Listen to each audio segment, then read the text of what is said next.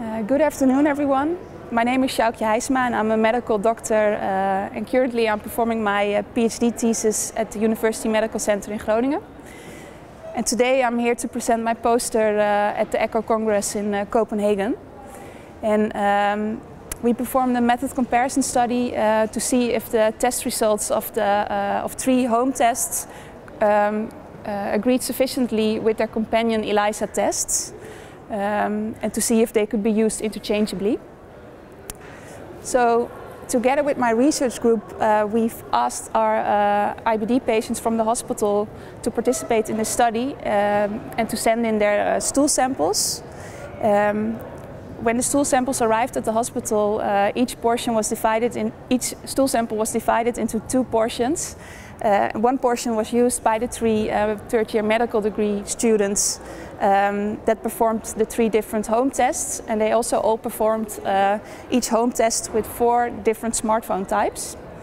And then the second uh, portion of the stool sample was uh, used by the laboratory technician that performed the three different uh, ELISA uh, tests.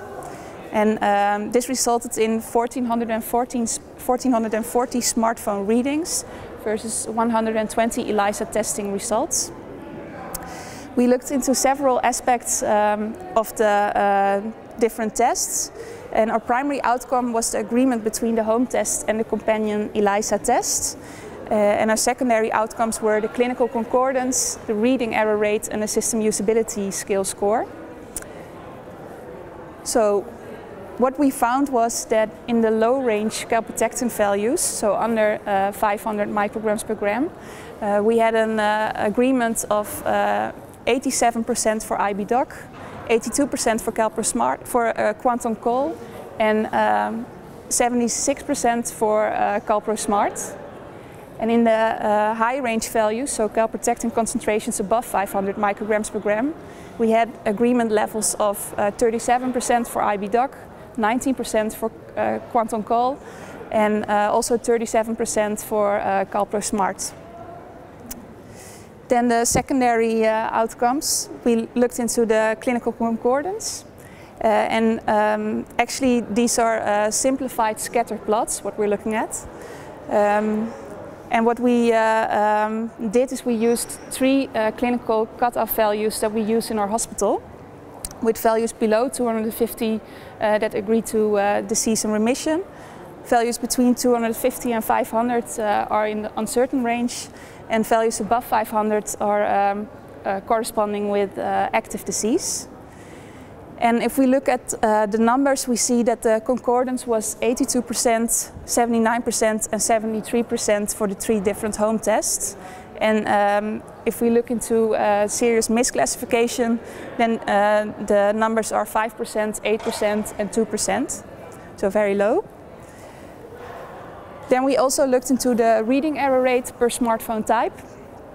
And we see that uh, the IBDoc test had significantly less uh, reading errors compared to the other two home tests.